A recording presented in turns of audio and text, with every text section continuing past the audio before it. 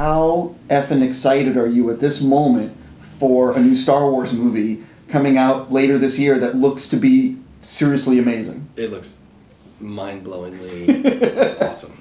The two teasers were spectacular. And I think the second one was even better than the first. Did you cry at the second teaser?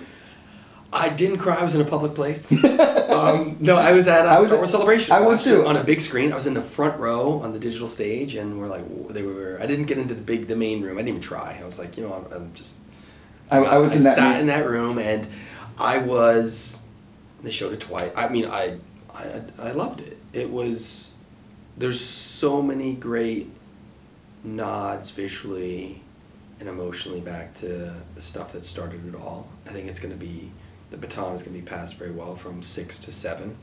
Um, from what I know of things I shouldn't know. Yeah, uh, Um, wait, I want to pause you I there. it's good. I want to pause you there. I personally am trying to live spoiler free, which is impossible in this day and age. Yeah, I can't even imagine how you're doing that. Right. I, I I have managed to do it. Not I know some things, but I don't know like the I don't know a lot. Okay. Are you just saying F it and you're going spoiler full? I am always spoiler full. Um, I don't care about the format the story is fed to me in. I want to know the story and the mythology. That's what I crave. so, So, you're basically whatever you can learn. I, I honestly believe the reason I like the prequels more than most people is because I I didn't sit down and let myself be shocked by it. And you, no matter what that movie was, episode one, it was never going to be what you had in your head. So you're always built up for a letdown. And it was just, and um, I also read the book before the movie. I just want to know the story. I just want to know the journey of Anakin Skywalker. I want to see where he's going with it. And I think that allowed me to mentally almost prepare before I saw it so I could extrapolate as to how things are going to be strung together and tied into 4, 5, and 6 and fill the gaps between 2 and 3. And I think with this, um, well, yeah, I've read all uh, the speculation. I've read the spoilers. I have a lot of art on my computer. I shouldn't. Um, and and I love it. You know, I just I do think there has to be a reverence to one, two, three, four, five, six. It's the Star Wars saga, and this is the continuation of six film saga, not just three films. So whether or not you like the films, you have to visually reference them. There's a mythology to it, and it's Anakin Skywalker's story. He's a chosen one. It's the birth.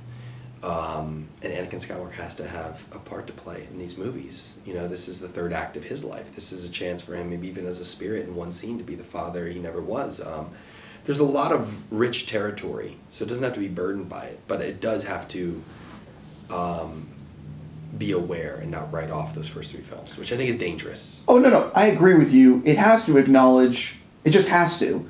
Unfortunately, and we've had very public conversations about this. In, in parking lots. right in parking lots and very public conversations uh, i have strong issues with the first three films um, and i think my issues with them are just going to get stronger when we see seven and it's like i don't all i know about seven personally is i have friends that are working on it hypothetically and i said all i want to know is is the script good and how is it looking and everything i keep hearing is the script's great and the movie looks unbelievable and these are from people that I trust. And the more I hear that, the more I realize, holy fuck, I'm going to lose my mind. I think the the Roman numeral films are in great shape. I think um, the anthology films, I just you know the big thing you want them to to do is to respect that Star Wars is its own genre. It doesn't operate as a microfilm within another genre. Um, Star Wars is a beautiful amalgamation of western and sci-fi and serial and screwball comedy and samurai. It's all tied together into something spectacularly new. So Star Wars aren't just oh we're gonna do our Star Wars film that is like this, or our Star Wars film that is like this. Star Wars is its own genre, so you better know that genre and that tone. And it's okay to be goofy. And I think you know you just want to make sure people are okay to be uncool because lines like "you could use a good kiss" aren't necessarily like the considered the coolest aspects of screenwriting. And who are you trying to make the movie for? To impress your your filmmaker friends, or are you trying to impress, you know, uh, the legacy of Star Wars? So that's what I hope. I hope that everyone's going in there and saying, "I'm making a Star Wars film. I'm not trying to." You know, be cooler than a Star Wars film. Listen, no matter what JJ delivers, He's good. He's in good shape. I just think it's everyone else that's coming through. And look, the Rogue One stuff looks cool. yeah, no, I'm going to lose my Doesn't mind. have to have a lightsaber. It doesn't have to have a Jedi. But there is a there's a tone and a texture, and a, and a and a levity to a Star Wars film. They're fun. Sure. Listen, I'm. I've never been this. I haven't been this excited for Star Wars since It's an 1998. amazing time. It is unbelievable. Before um, Theme she's already. parks, theme parks. Oh my god! Can you imagine going to eat? Please. eat at the I- cantina. Uh, I, I, we, we're going to talk more off camera, but before I wrap with you, um, there's a few things that have you been you've been trying to germinate and, and Disney, cut the Avatar land crap. what are you doing? There's Star Wars. Come on. it's all coming. Uh, Come on. What what's the story with some of the other things that you're developing? Like I know you have a blacklist thing that you're doing with uh, Chewie. You know, yeah, like not much has happened with that, you know, since the Disney acquisition, and I haven't really revisited it. I've been really focused on this. It's something, you know, it's uh, it'd be tricky to navigate. Obviously, it's a wonderful script, and we did really great work on it, and it's really filtered through Peter Mayhew's eyes, and Van uh, Robichaux and Evan Susser are awesome guys, and maybe we'll revisit. I don't know. It's not something I can really talk about or say too much about because there's not really any No, totally. current momentum on it. Um, I something. I love. But yeah, I think that would have to be done really independently with Star Wars and such the limelight, you know, Yeah. by Disney and the and the powerful machine. yeah, we'll we'll revisit stuff. Uh, what else is coming up though? Uh, I know uh, someone just did a music video recently. I did, yeah, did a uh, video with Taylor Swift, who it's one of the you know, greatest collaborations. That girl is is a genius, and even the music's not for you. Uh, what she's kind of created, it's of her own will. So everything that she does is of her own design. There's no committee. It's not like a lot of other pop stars and musicians where you feel like someone else is writing the music and she's just doing karaoke. No, she writes every song. She is the architect of her persona. She's a fantastic role model for young people. You know, I mean, you can't.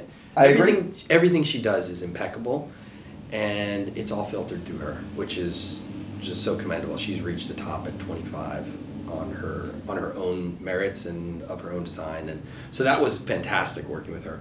And then she asked me to do um, work on her tour. So the tour that's just kicked off. There's some Kyle Newman stuff going on there. Uh, so we shot some interstitial elements. Every time there's an act break, there's I did some, not notice. There's some surprises going on with you know Lena Dunham and Cara Delevingne and Karlie Kloss and Jaime, my wife, sent Jaime King and Lily Aldridge and uh, Haim sisters and it's Selena Gomez is in it. It's really fun. And then there's another visual effects piece we did in it as well. And so I've been busy for the last few months just working, last year working with Taylor, uh, which is. I had no idea about that stuff. That's really cool. I work with her every day. I mean, she's the she's the coolest, and she creatively supports you. You know, if you say you need it, it's not like working in the film business where people fight you over everything. Right. I'll, I don't ask for much, but I say I need it, and we find a way to do it.